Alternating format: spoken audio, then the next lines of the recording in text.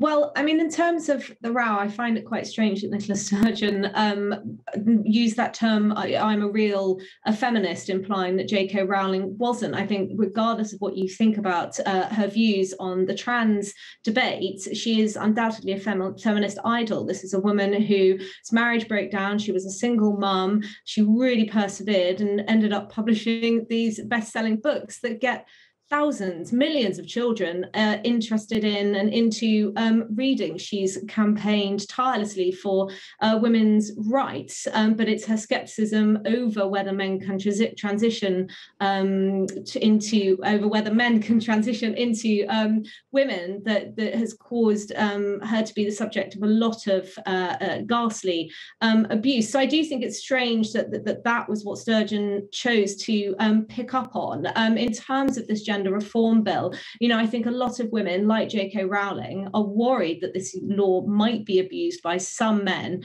who seek to harm women um, and gain access to women's only spaces. Um, so I think, you know, it's obviously a very, very difficult um, issue. My own libertarian view is that people should feel free to live their lives however they choose, so long as it doesn't impact on others. And that that is where the discussion and the debate becomes very, very difficult because trans women, you know, ought to be able to live their lives as they choose, or they identify as women, if they've made that transition. But at the same time, we want to ensure that biological uh, women are, uh, are, able to feel safe in what have historically been single-sex spaces. So you know, it, it's very difficult, um, and this just just really illustrates that. I want to uh, just fit in one other story, but just briefly, Sarah, your thoughts on this too.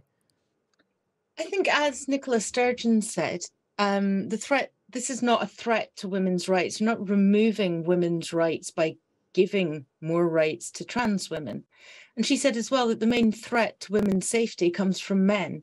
It comes from cis men, not trans women. And so women's rights campaigners should be focusing on ensuring safe spaces for women, which will be accessed by people who are trying to do harm to women.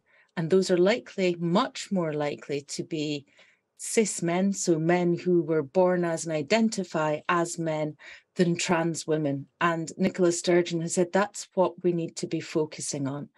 I think it is sad, however, that um, both Nicola Sturgeon and J.K. Rowling, as you were saying, Annabel, are fantastic feminist, strong women. And it is so sad to see that this debate is something that has so divided mm. the feminist movement. Yeah. Um, Look, we've got, shouldn't be.